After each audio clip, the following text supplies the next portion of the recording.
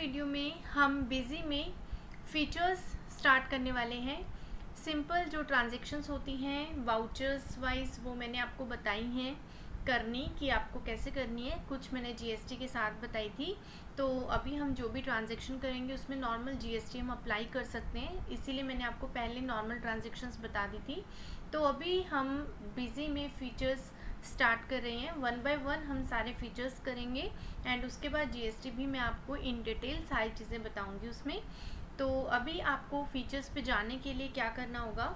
यहाँ पे आपको एडमिनिस्ट्रेशन पे जाना है एंड यहाँ पे आपने आना है कन्फिग्रेशन पे। कन्फिग्रेशन पे आप आएँगे एंटर प्रेस करेंगे। तो फ़र्स्ट ऑप्शन आ रहा है आपका फीचर्स ऑप्शंस यहाँ पे आप फीचर्स पे एंटर करेंगे। यहाँ हम ओपन करते हैं अपने अकाउंट्स फीचर तो हम यहाँ अकाउंट्स पे एंटर करते हैं। अकाउंट्स में जो हमारा फ़र्स्ट फीचर है, वो है बिल बाय बिल डिटेल्स अगर आप अपने कस्टमर्स के लिए या फिर अपने सप्लायर्स के लिए bill by bill details maintain करना चाहते हैं रिकॉर्ड मेंटेन करके रखना चाहते हैं आउटस्टैंडिंग डिटेल्स मेंटेन करके रखना चाहते हैं तो उसके लिए हम इस फीचर का यूज़ करते हैं। ओके उसके बाद जब हम इस पर कन्फिगर करते हैं तो इसमें बिल से रिलेटेड बहुत सारी चीज़ें आती हैं। इसमें जब भी आप किसी भी अपने कस्टमर को या फिर आ, कोई सप्लायर आपके लिए रेफरेंस बनाएगा अगर आप क्रेडिट में गुड्स परचेज कर रहे हैं या फिर आप क्रेडिट में गुड्स सेल कर रहे हैं तो उसके लिए आप यहाँ पे फ़र्स्ट ऑप्शन दिखाई दे रहा है इनेबल ग्रुपिंग ऑफ़ रेफरेंस अगर आप रेफरेंस के लिए कोई ग्रुपिंग करना चाहते हैं तो आप इस ऑप्शन को इनेबल कर सकते हैं। ग्रुपिंग करना रेफरेंसेस की ये मैं आपको सेपरेट वीडियो में बताऊँगी। अभी मैं आपको simply bill by bill details का यूज़ करना बता रही हूँ। उसके बाद नेक्स्ट है and force full amount allocation to references अगर आप रेफरेंसेस में फुल अमाउंट चाहते हैं, जो भी पर्टिकुलर अकाउंट वाइज होता है तो वो आप यहाँ पे ले लेते हैं। उसके बाद नेक्स्ट है show pending references till voucher date only तो यहाँ पे अगर आपको सिर्फ़ पेंडिंग रेफरेंसेस ही दिखाई देने हैं पर्टिकुलर वाउचर डेट पे तो आप यहाँ पे उसको इनेबल कर सकते हैं। अगर आपको बिल रेफरेंस के साथ नरेशन रिक्वायर्ड है तो आप वो ले सकते हैं। अगर सभी अकाउंट के लिए आपको बिल बाय बिल लेना है, उसके लिए आप इनेबल कर सकते हैं। अगर आप सेल परचेज में ऑटो रेफरेंसेस लाना चाहते हैं तो उसके लिए आप इन फीचर्स को इनेबल कर सकते हैं। तो ये सारे जो फीचर्स हैं, वो ग्रुपिंग से रिलेटेड हैं। इनको हम सेपरेट वीडियो में करेंगे। अभी के लिए हम इसको एज इट इज़ सेव करते हैं बिल बाय बिल को इनेबल करके। ओके अब उसके बाद मैंने यहाँ पे क्या किया हुआ है? मैंने अपने पास एक पार्टी बना रखी है। एक मैंने सप्लायर बनाया है और एक मैंने कस्टमर बनाया है। तो यहाँ पे मैं आपको एक बार उनके मास्टर्स जो हैं वो आपको शो करवा देती हूँ। यहाँ पर मैंने एक बनाया है अल्फ़ा कंप्यूटर्स और अल्फ़ा कंप्यूटर्स जो है ये मेरा सप्लायर है तो इसलिए इसको मैंने सनरी क्रेडिटर्स लिया है। जीएसटी में इसको रजिस्टर्ड किया है। यहाँ पर इसका क्रेडिट डेज़ फॉर सेल और परचेज दोनों मैंने थर्टी डेज़ दे दिए। बट ज़रूरी नहीं है कि यहाँ पर मैंने अगर इसमें दोनों में ही डेज़ दे दिए तो ज़रूरी है कि मेरे को अल्फ़ा कंप्यूटर से सेल भी करना पड़ेगा और परचेज़ भी करना पड़ेगा। बट अगर आप ऐसे कोई आपका सप्लायर है, जिससे आप गुड्स खरीदते भी हैं और उनको सेल भी करते हैं तो उस केस में आप यहाँ पे सेट कर सकते हैं credit days for sale and purchase okay तो यहाँ पर हमने एक पार्टी बना ली है अल्फ़ा कंप्यूटर्स के नाम से और एक हमने बनाई है साई कंप्यूटर्स के नाम से। ये जो पार्टी है, ये हमारी कस्टमर है तो इसीलिए मैंने इसको सनडी डेटस ले रखा है और इसमें मैंने क्रेडिट डेज़ सेट किया हुआ है क्रेडिट डेज़ फॉर सेल यहाँ पे मैंने थर्टी डेज़ सेट किया हुआ है ओके एंड उसके बाद आप यहाँ पे कर देते हैं सेव उसके बाद हमने कुछ स्टॉक आइटम लिया है। कुछ मैंने आइटम्स यहाँ पे क्रिएट की हैं जिस पे मैं आ, बिल रेफरेंसेस जनरेट करूँगी। तो यहाँ पे मैंने मॉडिफाई किया है। मॉडिफाई में आपको दिखा रही हूँ। मैंने क्या क्या आइटम्स बनाई हैं। एक मैंने कंप्यूटर आइटम बनाई है जिसमें मैंने जीएसटी को भी एप्लीकेबल किया हुआ है। और यहाँ पर मैंने इसका सेल्स प्राइस फिक्स किया हुआ है। परचेज प्राइस भी अगर आप फिक्स करना चाहते हैं तो आप कर सकते हैं। कोई ऐसा इशू नहीं है। ओके यहाँ पर आप MRP price purchase price sales price minimum sale price ले सकते हैं। ओके उसके बाद अभी हम यहाँ पे इसको सेव करते हैं। मैंने ज़्यादा कुछ प्राइस में अभी फिक्स नहीं किए हैं। ओके? उसके बाद यहाँ पे लैपटॉप पे अगर हम आते हैं तो लैपटॉप पे आप देखेंगे, लैपटॉप पे भी हमने सेल्स प्राइस को फिक्स किया हुआ है twenty five thousand rupees and यहाँ पे जीएसटी को भी मैंने एप्लीकेबल किया हुआ है एटीन परसेंट ओके?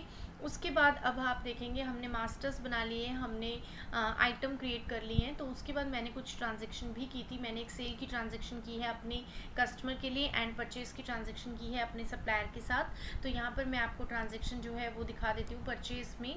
तो यहाँ पर एक बार हम देखते हैं जो हमने ट्रांजेक्शन की हुई है। ये मैंने ट्रांजेक्शन की हुई है अल्फ़ा कंप्यूटर्स के साथ, जिसमें मैंने लैपटॉप एंड कंप्यूटर्स परचेज़ किए हैं। मेरी लोकल जीएसटी है ये परचेज़ और अल्फ़ा कंप्यूटर से मैंने परचेज़ किया है तो यहाँ पर मैंने टैक्स को भी अप्लाई किया हुआ है। जब हम यहाँ पे इसको सेव करते हैं तो हमारे पास यहाँ पे रेफरेंस पूछता है। हम ओके करते हैं तो आप देखेंगे यहाँ पे अपने आप एक रेफरेंस जनरेट होता है bill by bill adjustment of amount ये अमाउंट आपके पास पिक होती है ऑटोमेटिकली यहाँ पर आपको रेफरेंस मिलता है। आप यहाँ पर न्यू रेफरेंस में जनरेट कर सकते हैं, जब भी आप क्रेडिट में परचेज कर रहे हैं या फिर आप क्रेडिट में सेल कर रहे हैं। ओके तो यहाँ पे आप देखते हैं आपको जो आपने डेज़ दिया होता है जैसे हमने थर्टी डेज़ क्रेडिट पीरियड दिया है तो यहाँ पे ड्यू डेट हमें फ़र्स्ट ऑफ़ मई शो कर रहे हैं। ओके तो ऐसे करके आप यहाँ पे अपना जो एडजस्टमेंट है एडजस्टमेंट के लिए आप रेफरेंसेस क्रिएट कर सकते हैं एंड उसके बाद हमने इसको सेव किया है। ओके okay, उसके बाद एज इट इज़ मैं आपको एक सेल्स का भी इन्वॉइस बना के दिखा देती हूँ जो मैंने अपने कस्टमर के लिए बनाया है साइन कंप्यूटर्स के लिए।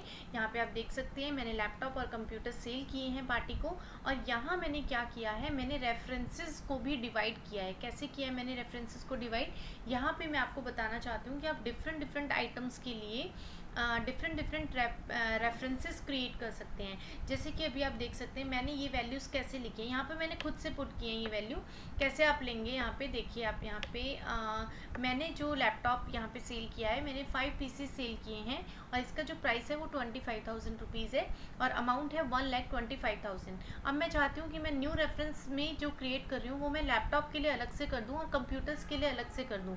क्योंकि जब मेरे को पार्टी से पेमेंट रिसीव होगी तो ज़रूरी नहीं है कि मेरे को पूरी इन्वाइस अमाउंट एग्जैक्ट एक ही बारी में रिसीव हो जाए। हो सकता है पहले मेरे को जो मेरी पार्टी है वो सिर्फ़ लैपटॉप का पे करे और फिर या फिर कंप्यूटर्स का पे करे।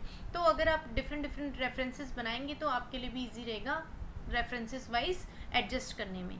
ओके तो यहाँ पे मैंने न्यू रेफरेंस में लैपी 101 के नाम से बना दिया एक रेफरेंस जिसमें मैंने one lakh twenty five thousand rupees पे 18 परसेंट ऐड करके यहाँ पे वैल्यू जो है one lakh forty seven thousand five hundred rupees लिख दी है।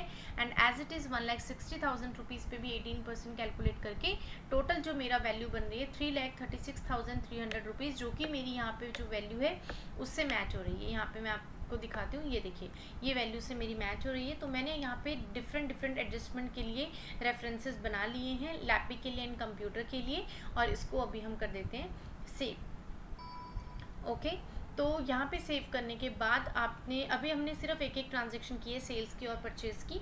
अब उसके बाद मैं यहाँ पे आपको कुछ रिपोर्ट्स दिखाना चाहती हूँ। आप डिस्प्ले में आएँगे डिस्प्ले में आने के बाद यहाँ पे अगर आप आउटस्टैंडिंग एनालिसिस देखना चाहते हैं तो यहाँ आप देख सकते हैं amount receivable amount payable bill wise एक एक करके डिटेल आप देखना चाहते हैं। तो यहाँ सारी डिटेल्स आपको दिख जाती हैं। यहाँ पे आप देख सकते हैं, साइन कंप्यूटर्स के लिए रिसीवेबल है, क्योंकि मैंने साइन कंप्यूटर्स को टोटल सेल किया था three lakh thirty six thousand three hundred rupees का तो ये मेरे को शो कर रहे हैं।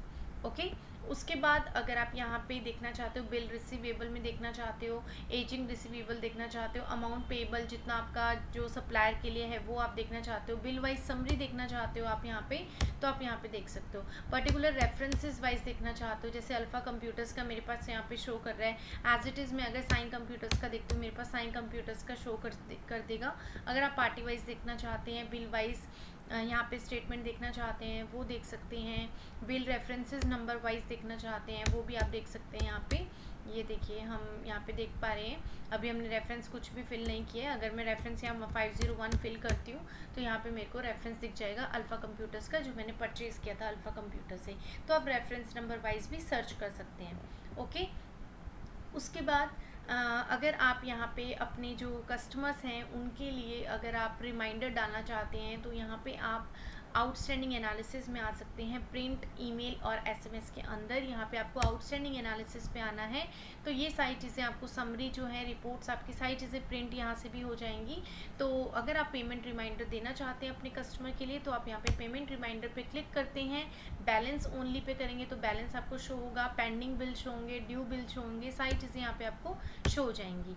ओके तो यहाँ पे आप देखेंगे मान लीजिए मैंने अल्फ़ा कंप्यूटर्स को तो आ, मैंने पेमेंट करना है तो अल्फ़ा कंप्यूटर्स तो मैं यहाँ पे नहीं लूँगी।